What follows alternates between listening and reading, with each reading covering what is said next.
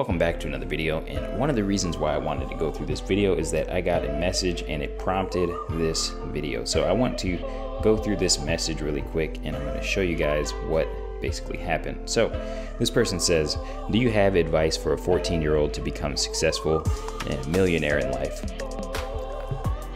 I already found my passion. I want to get be able to get a Rolls Royce Ghost, Dawn, and a Ferrari Pista 488 I can't read. Okay, so I said, you guys can see it. I said, that is awesome. But firstly, I'd say that people who want to spend a million dollars always accomplish that end. It sounds like you've got conflicting goals right now. I'd recommend you pick up a book called The Millionaire Next Door and Rich Dad Poor Dad in that order. He said, I appreciate it. My dream is to become a professional soccer player and win the World Cup in 2027, win, and win the Olympics 2028 women's. So this kind of reminds me a lot of me when I was 14. I wanted to do sports. That's kind of a, a cultural thing. Not to say that nobody's going to make it in sports, but not a lot of people are going to make it in sports. So this is what prompted this series, Lifestyles of the Rich and Fameless. So if we want to have a lot of riches, what we're pitched on TV is that you have to be a ball player, you have to be a talking head on TV, you have to be an actor, or you know you have to be a rapper things of that nature. So i wanted to go through this just so that i could answer the question more fully and recommend this book. By the way i will be doing a giveaway for this book. Um, if you comment down below and have a friend respond with your name comment your friend's name have your friend respond with their name uh, i will enter you into the drawing. So next video we'll do the drawing for the giveaway of this book. And uh, i want to give away two copies of this book. So we will see how that goes. And um, yeah, we had a little poll that was on Instagram. Hold on, I'll pull it up real quick. I said, trying to come up with a title. Which one sounds better? Lifestyles of the Rich and Boring or Lifestyles of the Rich and Not Famous? I actually went with a message that somebody sent me Lifestyles of the Rich and Fameless. So, this is that video, and we're going to get into those lifestyles and what actual millionaires walking among us look like. So, we're going to be able to spot a millionaire after this video and see what they look like, see what they think like, what do they dress like, what do they drive, things like that if you read the book. But this information comes from about the first 20, 25 pages of the book. I hope I've interested some of you guys in reading it. But, anyways, let's get into the video. So, fun facts from the book. This is this book was written in 1996, so a lot of the numbers uh, aren't necessarily accurate, but the trends are what's important because the trends are what tell you how people are behaving. So, we got first one: 88% of millionaires did not inherit their wealth, and they accumulated it in one generation. So, what does that tell us? That tells us something that's very counter to what we tend to think. Uh, what's pushed down our throat, I guess, by the media, which is that most millionaires either inherited their wealth. You know, you think of that rich kid that has the trust fund. Uh, most millionaires actually did not inherit their wealth. So most people accumulated it in one generation. And we'll get into who those types of people are later in the video. One half of US wealth is held by 3.5% of households. Those are the millionaire households. So 3.5 out of 100 are in the millionaire category and only one out of 4,000 people become wealthy through inheritances. It's actually pretty rare. So that's talking about people who just inherited their wealth. So it's very rare.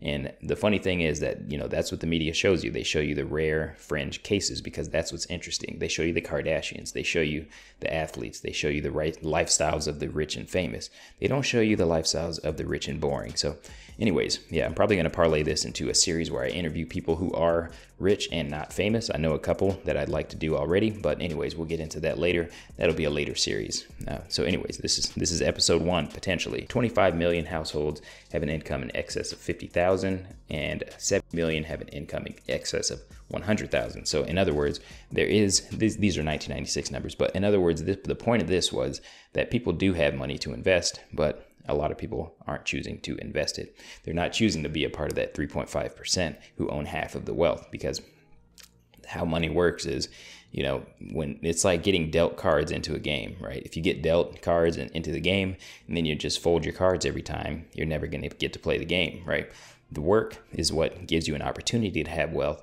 The wealth is actually the businesses, the assets, the real estate. And if you don't actually go buy those assets, then you will never have the wealth, right? So that's what we got to do. We got to go buy those assets, or else we're never going to be in that 3.5% households. Okay, Moving down, we got average household could only survive for a month or two. We saw that during the COVID 19 pandemic. Without an income, 50% of Americans would live in poverty without Social Security. So that's kind of a sad statistic. This one is really struck me when I read the book.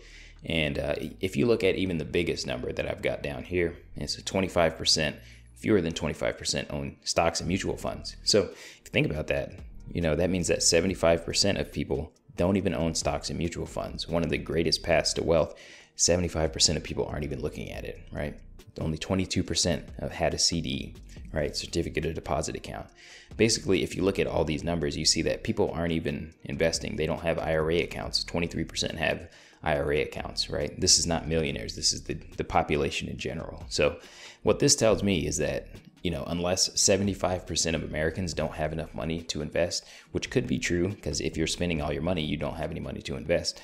That's that's what it tells me. So you're already working with only 25% of the population is even going for those 3.5%, right? So when people tell me that being wealthy is not behavioral, to some extent it really is because look look at these numbers. Not very many people are investing. So, next slide here. Okay, fun facts from the book 65% own equity in their home. So, in other words, a lot of Americans, like the American dream, is own the home. It's not to have any wealth, not to have any businesses, not to have any rental properties. But, like when we go back here, only 8.4% own rental properties. and the other one is 85% or more own motor vehicles, one or more motor vehicles. So that's what we're prioritizing. We want to own a home and we want to own motor vehicles. So most of our wealth is in motor vehicles. I believe in this book they also said that if you took out the equity in people's homes, the median net worth for Americans would be forty-four thousand dollars, right? So that means that people just aren't investing. That's what that means.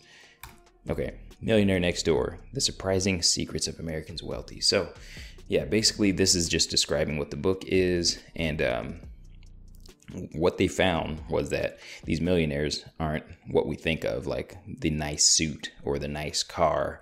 These millionaires have a million dollars because they didn't spend their money, right?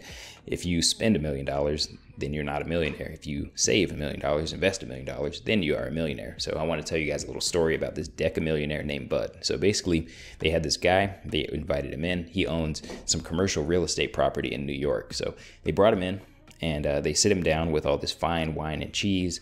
Uh, they they said, "Would you like you know this wine or that wine?" Is there was two wines that I can't pronounce either one of them, and he's just shifting in his chair uh, uncomfortably. And they ask him, you know, why haven't you touched the wine and cheese? And he says, you know, they basically ask him, what would you like to drink? And he says, I drink scotch and I drink two types of beer, Budweiser and free. Right. So he's basically saying, I'm a simple guy. I like assets and I like keeping my money in my pocket. That's how you keep your that's how you end up wealthy is keeping your money in your pocket, right? Not by displaying status symbols. So most of them are pretty practical, pragmatic, and they prioritize having money over spending money and showing that they have money. So next slide. Okay, behavior. So this one is interesting. Uh, they had these two categories that they put people into. That were the millionaires. They put them, or non-millionaires, high earners. They put them into UAW or PAW. So under accumulator of wealth, prodigious accumulator of wealth. So what you can do, and I found that this doesn't make too much sense until about like age 35, 40. They said that you take your age divided by 10 and then you multiply it by your pre tax earnings. So, for example, for me, I'm 28 divided by 10, 2.8 times pre tax earnings. We could just say it's about 100. So that would be about 280,000 that I'm supposed to be worth, right? But the thing is, if you make me 35, then I'm supposed to be worth $350,000. So I think it's a little bit more accurate for people that are nearing retirement. I think that's what it's intended for. But, uh, anyways, next slide. Okay, so this is the main things that they found in the highest concentration of millionaires. So, number one, they live well below their means. Number two, they allocate their time and energy and money, time, energy, and money efficiently in ways that are conducive to building wealth. Number three, they believe that financial independence is more important than displaying high social status. Number four, their parents did not provide economic outpatient care, which economic outpatient care means basically you move out of the house and then they continue to take care of you. So, that's what that means. Number five, their adult children are financially self sufficient. Number six, they are proficient in targeting market opportunities, or in other words, they make their own investment decisions and they um, they're good at finding investment opportunities. Number seven, they chose the right occupation. So, right, if you look at all these things, these are all choices. So, anyways, into the next slide here. Okay, my rich but not famous parents. Um, talked about them a lot on this video, or uh, on this channel rather. But um, yeah, let's go through my parents. My parents, age 57, which we'll get into that that's actually the average age of a millionaire. Annual household income, I think it's about 250. Estimating there, it could be a little bit more or less. Depends on what their rental income looks like. Expected net worth is $1.4 million, and their actual net worth is more than twice that last time I checked. So that makes them in the PAW category, right? So, anyways, all right, this is slide 11 of 19, and I hope you guys are enjoying this video as much as I enjoyed making this and reading the book, rereading the book, Millionaire Next Door. This stuff was eye-opening, and it's funny because a lot of what I saw in the book, it was almost like they were writing a story about my parents. So I really enjoyed that book. You guys should check it out, and make sure you guys enter the uh, giveaway if you guys want that a copy of that book or honestly if you've read it before tell me that you've read it before and uh, i would love to give you another book off of my reading list because i just like sharing that knowledge and i like building that community. Join the facebook if you haven't already. And that's enough self promo let's get back into the video. So statistically who becomes a millionaire? Lived in the same town all their adult life. Business owner married once and remains married. Lives next to neighbors with a fraction of their wealth. In the book, they said that the average millionaire, uh, or like the prodigious accumulator of wealth, lives next to people who they have up to 6.5 times their wealth. So, in other words, you know, the person next to them is spending all their money on their mortgage, as we saw earlier. Most of people's wealth, or 65% of people, have uh, equity in their home, but only 25% of people own stocks and bonds, or stocks rather. So, and uh, number five, compulsive saver and investor. Uh, I'm sure anybody who knows me would know that that is true of me. So I'm sure I'll get there one day eventually. And uh, number six, they made all, uh, all of their own money. 80% of millionaires are first generation rich. So I think the value of sharing this is that, you know, if monkey see, monkey do, right? You see this, if you do this, you'll probably end up with the same results that somebody else ended up with. Next slide, slide 12 of 19. Okay, so these are these are kind of interesting. You know, millionaires don't like to flex as much. Majority of millionaires never spent over five hundred dollars on a watch. So majority of millionaires do not drive this year's model of car. So a lot of what we see on TV is, you know, the rich person with the with the nice suit buying the new car every single year. But really, when you think about how much depreciation that would be, anybody who's smart with their money would never do that unless they have just money to just throw away, right? And they're really into cars. But most people don't actually do that, that have a bunch of money because, like we said before, people who have a lot of money, they have it because they didn't spend it. So, anyway, next slide 13 of 19. Prototypical millionaire. How to spot a millionaire. So, these are going to be six slides, and then we'll close out the video about what a millionaire actually looks like. So, what we see on TV versus what they found in this survey. So, 57 year old, typically male, married with three children. 70% of millionaires own over 80% of their household's income. One fifth are retired. Okay. Two out of three are self employed. And uh, self employed individuals make up less than 20% of the workers in America, but account for two thirds of the millionaires. So, basically, what that tells me is that if you want to create your own income, you kind of have to create your own ecosystem. You have to create your own business. You have to be an entrepreneur. And as it says right there, three fifths of self employed millionaires consider themselves entrepreneurs. So if you want to create your own income, you want to go beyond what somebody is willing to pay you, right? You have to create your own ecosystem. You have to tell people what you are worth rather than being told what you are worth. So moving on there. So one of the things they said it was a lot of the businesses that they are in could be described as dull normal. So one thing that I really was eye opening for me when I was reading this book is that as a kid, I always drove by all these businesses, you know, I drove by all these little small shops, these auto shops, you know, these these just random like repair places, these these contractors, things like that. And I never thought like who owns this? Like if you own three or four of those, then uh, you know you could make a pretty good amount of money. And I met this guy in uh, Costco's parking lot. He had a $10 million net worth, and he just looks like a normal guy. The guy was like, I probably, I'm trying to have him on the show at some point, but he just looked like a normal blue collar guy. Like he, he had like a Seahawks jersey on, and he came and he fixed my crack in my windshield. I cracked my windshield. And uh, we get to talking. I told him I had a channel about personal finance, and he tells me about how he like has multiple homes and he has a bunch of people doing this in different Costco parking lots and he's got his big business empire and you know he just kind of started it from the ground up had nothing to do with his education and he's got vineyards and he's just got a lot of stuff going on and he's like yeah I just I just love working and that's really the prototypical millionaire somebody who loves working loves saving loves owning land loves loves building his business or her business and that's the type of person that we don't see on TV only see him in this video.